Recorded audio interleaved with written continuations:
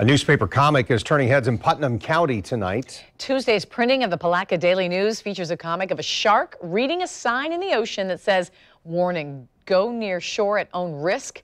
Angry white males with easy access to guns.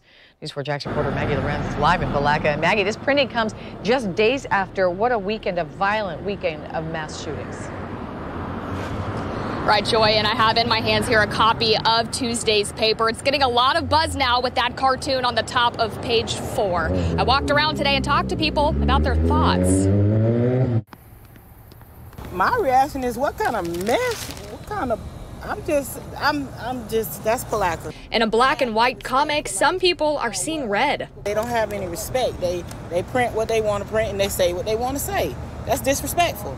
The cartoon was printed days following the mass shootings in Dayton and El Paso. At, at Walmart, who wants to read something like that? Angry white males with guns. Like, that's ridiculous. Yeah. That's why I don't even pay for that paper. I don't read that. It's in poor taste. Um, especially given the current climate uh, within our society. I, I, think that when I initially see this, it reverts right back to that fairly quickly.